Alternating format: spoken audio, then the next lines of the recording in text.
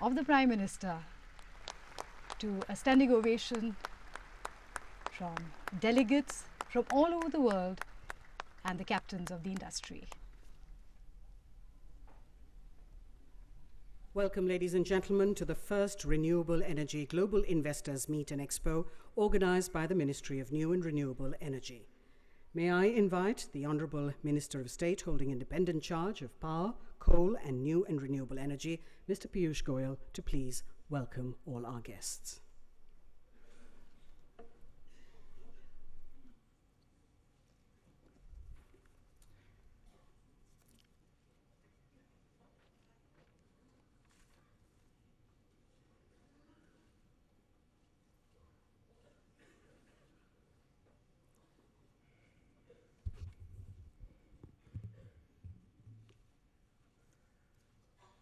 मंत्रिपरिषद के मेरे साथी, श्रीमान पीयूष गोयल जी, श्रीमती निर्मला जी, कैबिनेट सचिव श्री अजीत सेठ और विभाग के सचिव श्रीमान उपेंद्र जी, उपस्थित सभी महानुभाव। मैं पीयूष जी और उनकी पूरी टीम को बधाई देता हूँ कि उन्होंने एक बहुत बड़े पैमाने पर आगे बढ़ने के लिए निर्णय किया है और उसी के अनुसंधान में आज ये तीन दिवसीय वर्कशॉप का आरंभ हो रहा है। एक बहुत बड़ा बदलाव हम लोगों ने नोटिस किया कि नहीं, मुझे मालूम नहीं। सामान्य रूप से हम लोग देश में जब ऊर्जा की चर्चा करते आए हैं तो मेगावाट के संदर्भ में करते आए हैं। पहली बार भारत गीगावाट की चर्चा करना प्रारंभ किया है।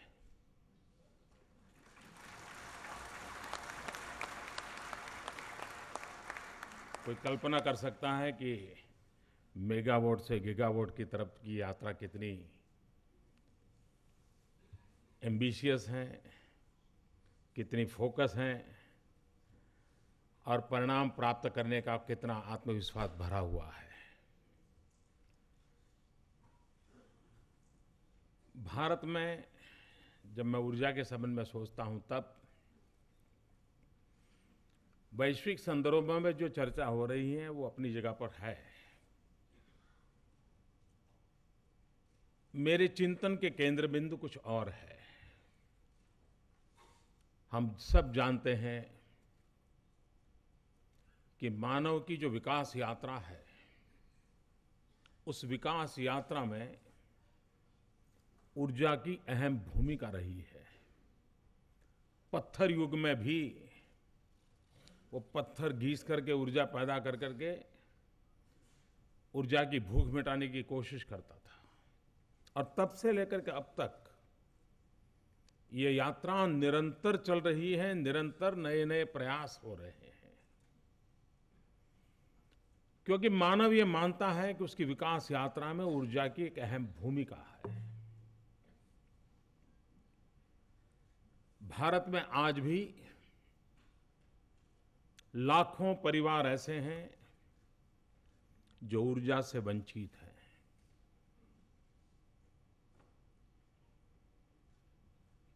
गरीब से गरीब परिवार को भी ये अपेक्षा है कि उसका बच्चा पढ़े, पढ़ लिख करके आगे जाए। लेकिन जब एग्ज़ाम का समय होता है तो रात को पढ़ नहीं पाता है, क्योंकि घर में उजाला नहीं होता है। और उसकी ज़िंदगी वहीं रुक जाती है।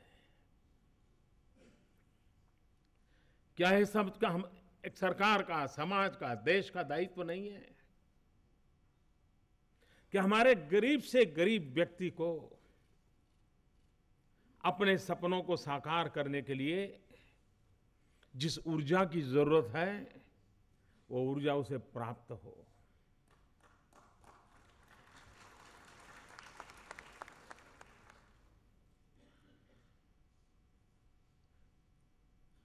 विकास का प्रकाश उसके धर तक तक तक नहीं पहुंचेगा, जब तक कि वो खुद रोशनी से लाभान्वित नहीं होगा। और इसलिए मेरे दिल दिमाग के अंदर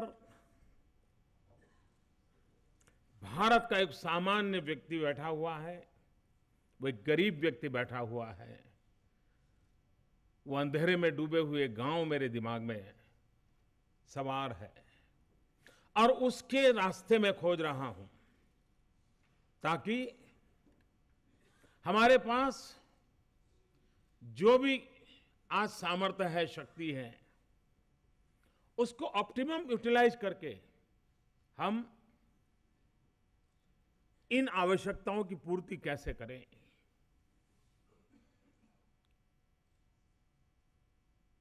सामान्य से सामान्य व्यक्ति आज अपने आप को विश्व के साथ जोड़ करके देखता है। कोई भी खबर सुनता है तो उसको भी लगता है कि हाँ ये मेरे पास भी होना चाहिए। उसके सपने अब बहुत ऊँचे हैं और इसलिए उसे ज़्यादा इंतज़ार भी नहीं है। वो अपने देखते ही अपने सामने बदलाव देखना चाहता है, अपने बच्चों के लिए कुछ करके जाना चाहता है। और इसलिए हम वन पॉइंट आगे गए, टू पॉइंट आगे गए, फाइव पॉइंट आगे गए, आंकड़े तो बहुत अच्छे लगते हैं। लेकिन हमें क्वांटम जंप के बिना कोई चारा नहीं है। और इसलिए हम पहले जिस गति से आगे बढ़ते होंगे, इससे हम गति तेज भी करना चाहते हैं और नई ऊंचाइयों को पार कर करके आगे बढ़ जाएँ, उस सीमा तक आगे बढ़ने की दिशा में हम सारी योजनाओं लेकर के आगे चल रहे हैं। उसमें ऊर्जा एक क्षेत्र है। दूसरी तरफ़, ऊर्जा के लिए जो हमारे स्रोत है,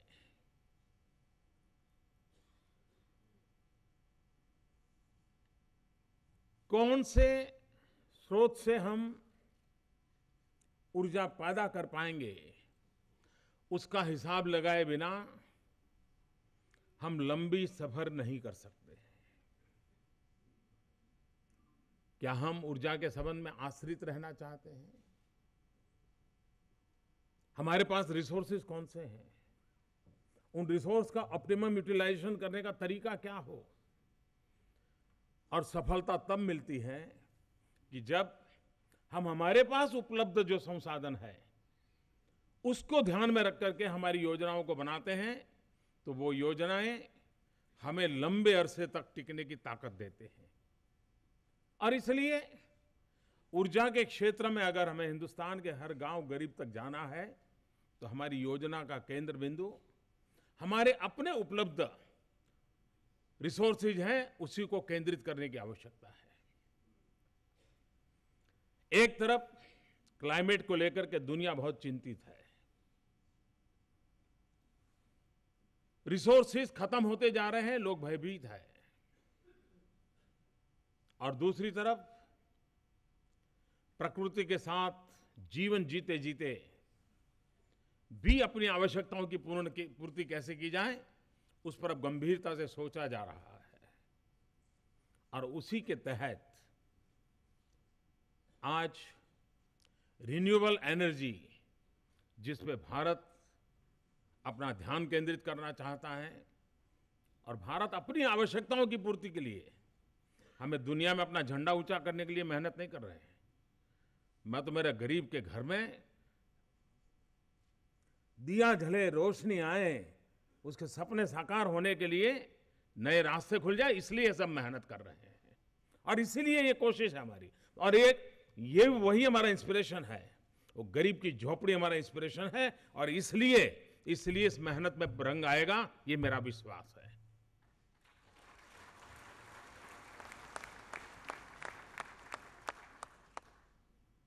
आज दुनिया जो क्लाइमेट की चर्चा कर रहा है अलग अलग तरीके से उसको एड्रेस करने के प्रयास हो रहे हैं। लेकिन मैं एक बात की जब चर्चा करता हूँ, दुनिया भी मेरे साथ उस विषय को चलने के लिए तैयार नहीं है, नहीं मेरी बात मानने के लिए तैयार है। मैं हमेशा कहता हूँ कि हम क्लाइमेट की इतनी सारी चर्चा करते हैं, लेकिन हम कार्बन एमिशन का क्या होगा, क्या नहीं होगा, इस पर तो बहुत बड़े लंबे लंबे सेमिनार करते हैं। लेकिन ये हमारी अपनी लाइफस्टाइल का क्या है, उस पर चर्चा करने के लिए कोई तैयार नहीं है।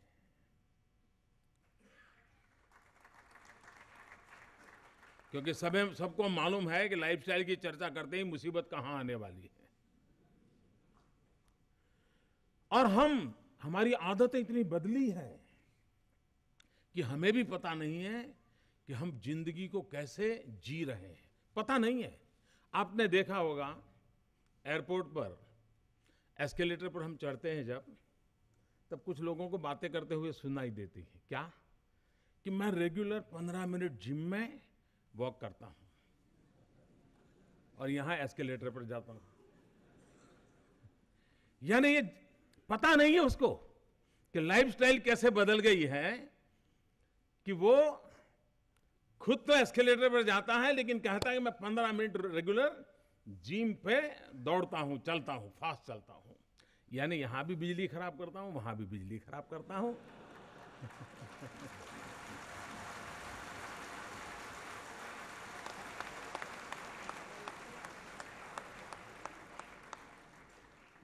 मैं किसी की आलोचना नहीं करता हूँ, क्योंकि मैं भी एस्केलेटर पर जाता हूँ। कहने का तात्पर्य है कि हम लोगों की, हम लोगों की आदत इतनी बदल गई है कि हमें पता नहीं है कि सचमुच में हम, हमारी भावी पीढ़ी के भाग्य का जो है, वो हम ही खाते चले जा रहे हैं। और ऐसे कैसे माँ बाप हो सकते हैं जो बच्चों का खा जाए? हम अपनी भावी पीढ़ियों का खा रहे हैं। कोई माँ बाप ऐसा नहीं होगा जो अपने बच्चों को कर्जदार कर्जदार देखना चाहता है। हर माँ बाप चाहते हैं बच्चों के लिए कुछ विरासत छोड़ करके जाए। क्या हम, हमारी भावी पीढ़ी के लिए ये बर्बाद विश्व देना चाहते हैं? बर्बाद पृथ्वी देना चाहते हैं? हम उसको खुली हवा में जीने का अधिकार भी नहीं देना चाहते क्या? हमारी भावी पीढ़ी के अधिकारों की रक्षा करना कि हमारा दायित्व तो नहीं है और इसलिए इसलिए हमने अपने जीवन शैली में भी बदलाव लाना ज़रूरी है। और इसलिए जब क्लाइमेट के इश्यू को एड्रेस करते हैं तो व्यक्ति से शुरू कर करके ब्रह्मांड तक की चर्चा होनी चाहिए। हो रहा है, ब्रह्मांड से शुरू हो रहा है और व्यक्ति तक आने को कोई तैयार नहीं है। सारे डिस्कोर्सेस बदलने की आवश्यकता है और ये बदले जा सकते हैं। दूसरी बात है, हम लोग जिस परंपरा में पले बढ़े हैं हमारे यहाँ जो कल्पना जगत है, उस कल्पना जगत में कहते हैं, ऊर्जा में उन्होंने सूर्य भगवान की कल्पना की है। और सूर्य सात घोड़ों का रथ होता है, सूर्य भगवान का। ऊर्जा की कल्पना ये की गई है। माइथोलॉजी वाले या इस प्रकार की कल्पना जगत वाले जो क्या सोचते होंगे मुझे मालूम नहीं, लेकिन सूर्य ऊर्जा का तो केंद्र है ही है, उसका तो कोई इनकार नहीं कर सकता है। आज के युग में मैं देख रहा हूँ, वो सात घोड़े कौन से होने चाहिए? हमारा जो ये सूर्य का घोड़ा है, ऊर्जा का घोड़ा है, वो कौन से सात घोड़े उसको चलाए? अब तक हमको आदत है थर्मल की, एक घोड़ा, दूसरी है गैस की, तीसरी हाइड्रो की, चौथी है न्यूक्लियर करके।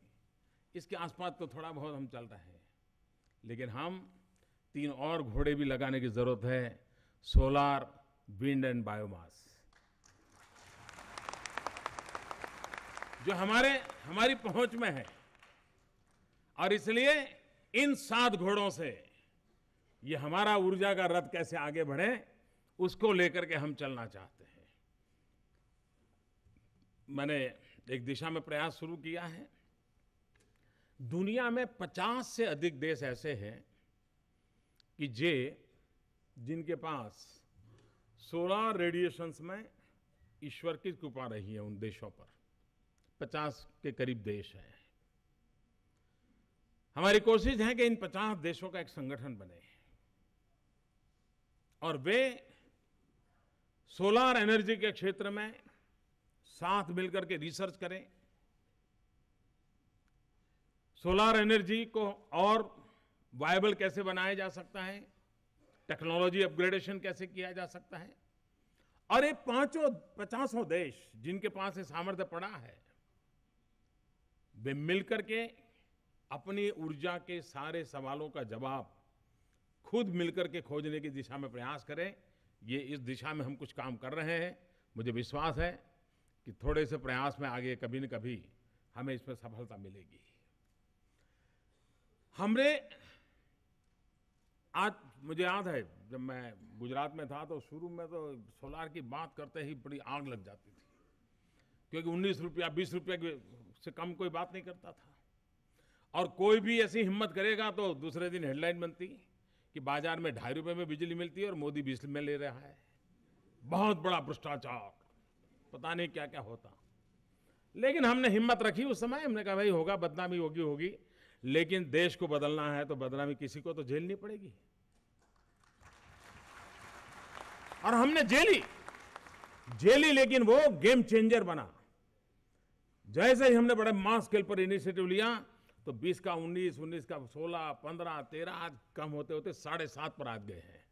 और शायद उससे भी कम हो गए होगा इस बार यानी हम थर्मल के साथ बराबरी करने की दिशा में जा रहे ये अपने आप में गेम चेंजर बन गया लेकिन हम सोचते ही रहते तो नहीं होता। और आने वाले दिनों में मैं मानता हूँ कि हम सोलार एनर्जी के क्षेत्र में जो नई रिसर्च हो रहे हैं, अवश्य हम इसको सामान्य मानवी को सुविधाजनक हो, ऐसी स्थिति में पहुँच पाएँगे, ऐसा मेरा पूरा विश्वास है।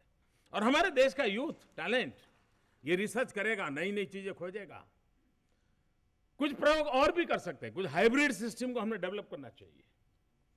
हम नहीं चाहते हैं कि ज़्यादा ज़मीन इसमें चली जाए।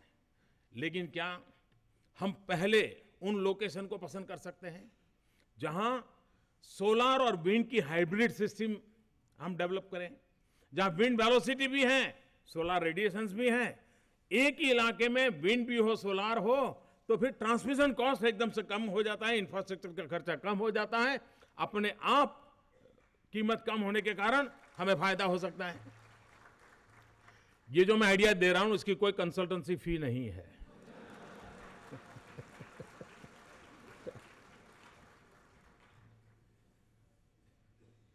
क्यों ना हम इस प्रकार से करें?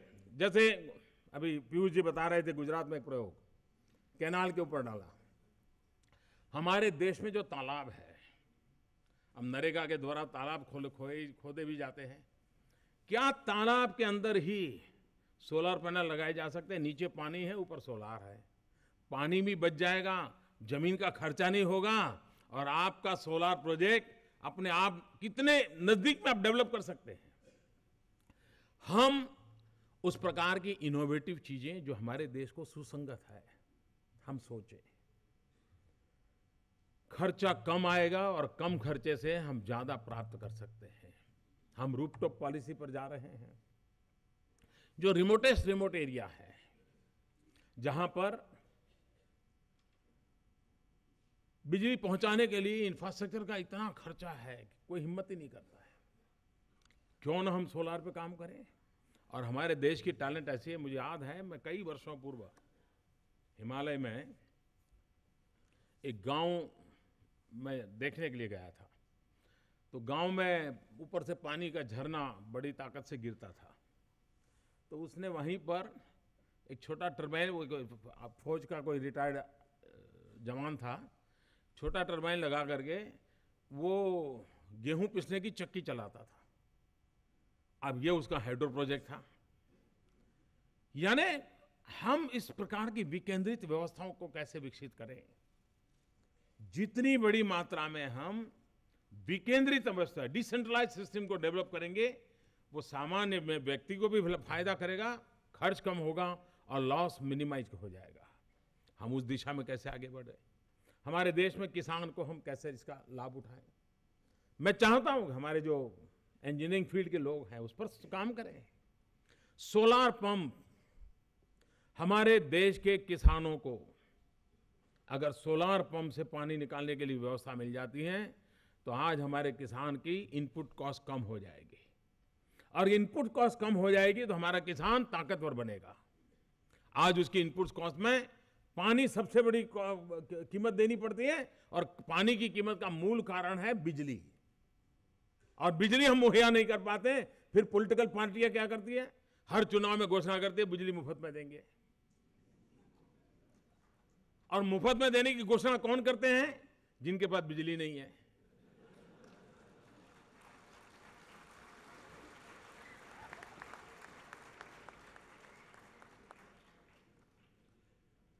तो बिल देंगे तो फिर उसको बिल आएगा ना। लेकिन किसानों की समस्या को हमने समझना पड़ेगा और हमारे लिए आवश्यक है कि हम किसानों को सोलार पंप के द्वारा पानी निकालने की पूरी व्यवस्था मिले और अपने खेत में पानी, और एक बार उसके पास सोलार पंप होगा तो वो माइक्रो इरिगेशन में तुरंत चला जाएगा, क्योंकि उसको पंपिंग सिस्टम का भी लाभ मिलेगा। और माइक्रो इरिगेशन में जाएगा तो न हम ऊर्जा की बचत करेंगे, हम पानी की भी बचत करेंगे। नॉट ओनली दैट ये माना गया है कि एग्रीकल्चर सेक्टर में माइक्रो इरिगेशन के द्वारा क्रॉप ज़्यादा मिलता है क्वालिटी ज़्यादा अच्छी मिलती है, किसान को मल्टीपल बेनिफिट की संभावना होती है। तो हम जिस ऊर्जा के क्षेत्र में काम कर रहे हैं, हम समाज जीवन में कितना बड़ा बदलाव ला सकते हैं और उन बदलाव को लेकर के हम कैसे काम कर सकते हैं इस पर हम गंभीरता से सोचेंगे। जैसे मैंने कहा, ऊर्जा बचाना ये समय की मांग है। हमने सहज स्वभाव बनाना पड़ेगा और ऊर्जा हम जितनी बचाएँगे, हम आने वाली पीढ़ियों को बचाएँगे। ऊर्जा पीढ़ियों की रक्षक के रूप में काम आ सकती है और उस बात को गंभीरता से लेकर के चलना भी आवश्यक है। भारत सरकार अकेली इस दिशा में आगे बढ़ रही ऐसा नहीं, आपने देखा, करीब करीब सभी राज्य यहाँ मौजूद हैं। और ये वो राज्य हैं जिन्होंने कुछ न कुछ अचीव किया है। यानी आज हिंदुस्तान के सभी राज्यों में अवेयरनेस है इनिशिएटिव है, और ज़्यादा लोग राज्यों के साथ मिलकर के इसमें काम भी कर रहे हैं। मैं एक शुभ संकेत मानता हूँ। सभी राज्य मिलकर के जैसे आगे बढ़ते हैं तो मेगावाट का गीगावाट होना देर नहीं लगती जी। ये ताकत वो है। सब राज्य मिलकर के जब काम कर रहे हैं तो मेगावाट से गीगावाट की सफ़र अपने आप चल पड़ती है। और उस सफ़र को पाने के लिए हम प्रयास कर रहे हैं। मैं आपको विश्वास दिलाता हूँ। ये क्षेत्र ऐसे हैं जो मेरे आर्टिकल ऑफ़ फेथ है। मेरा इसमें विश्वास है मेरी श्रद्धा है। मैं मानता हूँ कि ये मानव जात के कल्याण के जो रास्ते हैं उस रास्तों से कभी भी हमने हटना नहीं चाहिए। और मेरा ये विश्वास है कि दुनिया को ये ग्लोबल वार्मिंग से बचने के रास्ते दिखाने की अगर किसी के पास सहज शक्ति है तो हिंदुस्तान के पास है। क्योंकि हम लोग जन्मजात रूप से प्रकृति को प्रेम करना हमें सिखाया गया है। हमारे हमारे डीएनए में है। लेकिन हम ही उसको अगर भूल जाएँगे तो दुनिया को रास्ता कौन दिखाएगा? और फिर दुनिया एमिशन के हिसाब किताब से ही अपने समय बर्बाद करती रहेगी। जीने का रास्ता क्या हो, दिखाने की ताकत भारत के पास है, और जो हज़ारों साल उसने जी करके दिखाया है। अकेले महात्मा गांधी को ले, उन्होंने जिन बातों को जी करके दिखाया है, उसी को भी अगर दुनिया समझना शुरू करें तो मैं समझता हूँ ग्लोबल वार्मिंग से लड़ने का रास्ता उसको मिल जाएगा। बचने का रास्ता मिल जाएगा। हम प्रकृति को प्रेम करने वाले लोग हैं। हम ही तो लोग हैं जो नदी को माँ कहते हैं। यह हमारी हमारे स्वभाव में है। और इसलिए मानव जात जिस संकट की ओर आगे बढ़ रही है, उसको बचाने का भी मार्ग, हाँ, लेकिन भारत ने खुद ने भी उसको जीने का फिर से एक बार प्रयास शुरू करना पड़ेगा। हम ये कहें कि हमारे ग्रंथों में इतना महान पड़ा हुआ है तो हमारी गाड़ी चल जाएगी। ये होना नहीं है। जो उत्तम है, उसको जीने का हौसला भी चाहिए। और जो जीने का हौसला होता है तो औरों को भी उस रास्ते पर ले, खींच के ले जाने की ताकत रखते हैं। उस ताकत के भरोसे हम आगे बढ़ना चाहते हैं। मैं फिर एक बार इस प्रयास को बहुत शुभकामनाएँ देता हूँ और मैं चाहूँगा कि अनेक विषयों पर चर्चाएँ होने वाली हैं। अलग अलग एक्सपर्ट लोगों से हम विचार विमर्श होगा। और इस क्षेत्र में काम करने वाले लोग भी, हम भी मिल करके रिसर्च और इनोवेशन पर बल देना होगा। सिर्फ़ हम क्वांटम जंप कितना करते हैं, पहले कितना मेगावाट थी और अब कितना गीगावाट हो गए उससे बात बननी नहीं है। हमने टेक्नोलॉजिकली क्वालिटेटिव चेंज लाने की ज़रूरत है और उसके लिए रिसर्च की आवश्यकता है। हम जो कुछ भी कर रहे हैं, उसमें बल देना चाहिए। दूसरा मैन्युफैक्चरिंग हम मेक इन इंडिया की बात कर रहे हैं। हम चाहते हैं कि हमारे सोलार विंड हो इक्विपमेंट मैन्युफैक्चरिंग पर बल यहाँ पर मिले। अगर हम इक्विपमेंट मैन्युफैक्चरिंग नहीं करेंगे और हम इक्विपमेंट बाहर से लाएँगे और ईश्वर कृपा से सोलार का फ़ायदा उठाएँगे और बिजली बेचते रहेंगे तो हमारे यहाँ जॉब क्रिएशन ज़्यादा नहीं होगा। अगर हमें जॉब क्रिएट करनी है तो हमने इक्विपमेंट मैन्युफैक्चरिंग पर ही बल देना पड़ेगा। और उसमें भी इनोवेशंस ये समय की मांग है। आज विंड एनर्जी में कितना इनोवेशन हो रहा है। और अब तो उसमें भी हाइड्रीम सिस्टम की संभावना दिखती है। मैं, मेरी क्षेत्र में रुचि होने के कारण इस प्रकार से काम करने वालों तो हमें के भी हमारे एक मित्र बता रहे थे कि अब विंड मिल जो होगी, वो हवा में से जो ह्यूमिडिटी है, उसको एब्सॉर्ब करके वो बिजली भी दे सकती हैं और एक wind mill ten thousand litre शुद्ध पीने का पानी भी दे सकती है, हवा में से लेकर के। अब गाँव में एक विंड मिल जाए, मैं नहीं जानता वो टेक्नोलॉजी सफल हुई है कि नहीं, लेकिन प्रयास चल रहे थे। अगर ये सफल होता है तो गाँव में एक विंड मिल होगी तो छोटा गाँव होगा तो पीने का पानी की समस्या भी अपने आप सॉल्व हो जाएगी। समुद्री तट के गाँवों के पीने के पानी तो तुरंत सॉल्यूशन हो सकता है। यानी संभावना है जितनी पड़ी हम इनोवेशन की तरफ़ जाए और इस समस्या के समाधान के लिए काम करें।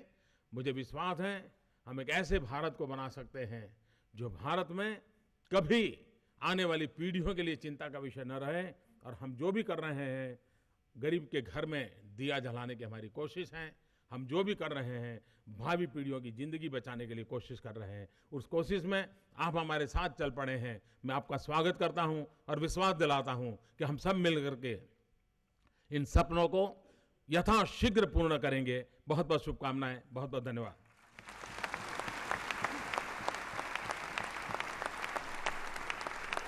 Ladies and gentlemen, a Prime Minister that gives us able and bold guidance, pioneering and innovative initiatives, and path breaking suggestions. We are really grateful to the Honorable Prime Minister for all.